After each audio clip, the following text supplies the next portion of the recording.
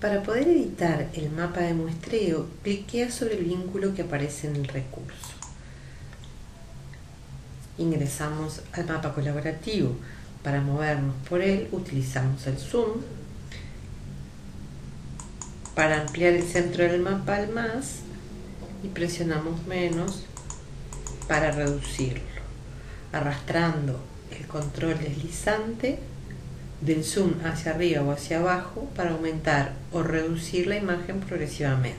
Para desplazarse, presionas sobre el mapa y arrastras. Aparece una manito que nos permite mover el mapa. Recuerda que para poder modificarlo debes estar logueado con una cuenta de Gmail. Iniciamos sesión, colocas eh, el nombre de la cuenta, la contraseña e inicia sesión. De esa manera queda habilitada la, la edición. Apretamos en el botón de editar y queremos colocar un marcador que nos va a situar nuestra escuela para poder subir la fotografía del monitoreo que realizamos. Como quieres colocar un marcador en la ubicación de tu escuela, debes dirigirte al departamento donde resides y allí a la localidad o al barrio y encontrar las calles donde se encuentra. En cualquier momento puedes cambiar la vista satélite si te resulta más fácil la ubicación del lugar. En este caso vamos a hacer un ejemplo con una escuela urbana del departamento de Montevideo, así que usaremos la vista mapa en la que se pueden leer las calles. Aumentamos el zoom, nos dirigimos a Montevideo, tratamos de ubicar el barrio Malvin Norte y allí la calle Gua, donde se encuentra la escuela número 267.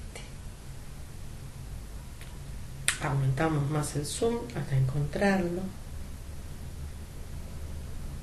Colocando la vista satélite se puede ver que forma parte de un complejo de viviendas.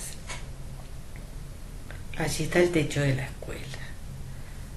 Para señalar el lugar, eliges un marcador de posición y lo arrastras hasta la ubicación haciendo clic para fijarlo lo nombras, en este caso escuela 267, y eliges qué tipo de marcador usar. Puede ser cualquier marcador de posición o un marcador diferente como la cámara fotográfica, ya que subirás una fotografía de la muestra. Elegimos texto enriquecido. Se puede ver ahí el icono de imagen. Es este clic sobre él y aparece una ventana que nos pide una dirección web. Allí tenemos que pegar la dirección web que obtuvimos al subir la fotografía a Picasa. Ahora completarás la descripción. Recuerden que la descripción debe ser breve pero precisa. Debe contener la información necesaria para que sirva para comparar los distintos lugares donde se tomaron las muestras. Si es una zona urbana o rural, si existen fábricas, chimeneas, si hay un emprendimiento minero en las proximidades, si hay avenidas de tráfico importantes. Para medir distancias desde la escuela hasta las avenidas o calles, se puede utilizar otra herramienta de Google Maps que es la regla Mediremos la distancia a las vías de tránsito próximas. Clic para fijar el comienzo y doble clic para el final.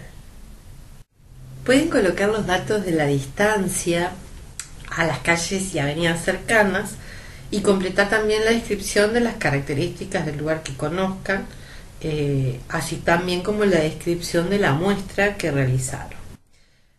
Es importante tener en cuenta que pueden agregar más marcadores en el lugar.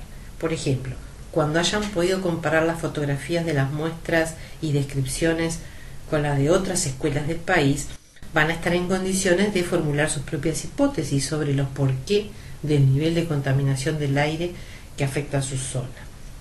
Bueno, finalmente guardan y al volver al recurso y actualizarlo, verán luego de unos minutos que los datos que acaban de ingresar ya son visibles. Bueno, esperamos tener muchas fotografías para poder comparar y que nos ayuden a pensar. Muchas gracias.